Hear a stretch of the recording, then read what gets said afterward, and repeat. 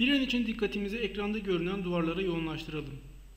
Gelin ilk önce duvarlardan birinin yan yüzeylerine yüzey alt bölge donatısı yerleştirme makrosunu kullanarak düşey yönde donatı yerleştirelim.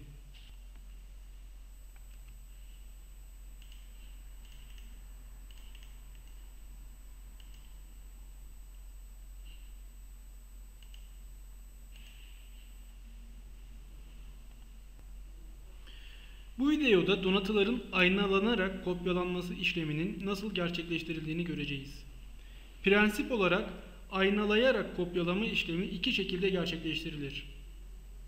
Birinci yöntemde donatılar bir görsel kalıp nesnesinden başka bir görsel kalıp nesnesine aynalanarak kopyalanır.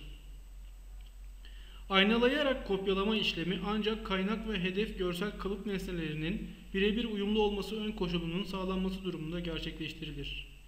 Aksi durumda kullanıcı uyarılır ve aynalayarak kopyalama işlemi gerçekleştirilmez. Gelin şimdi yüzey alt bölge donatısı yerleştirme makrosu kullanılarak oluşturulmuş olan donatıları aynalayarak kopyalayalım. Aynalayarak kopyalama işlemi çeşitli şekillerde gerçekleştirilebilir. Bu konu temel eğitim videolarında detaylı bir şekilde irdelenecektir. Bu videoda sadece aynalayarak kopyalama işleminin uygulaması gösterilecektir. Bu bilgi notundan sonra gelin aynalayarak kopyalama işlemini gerçekleştirelim.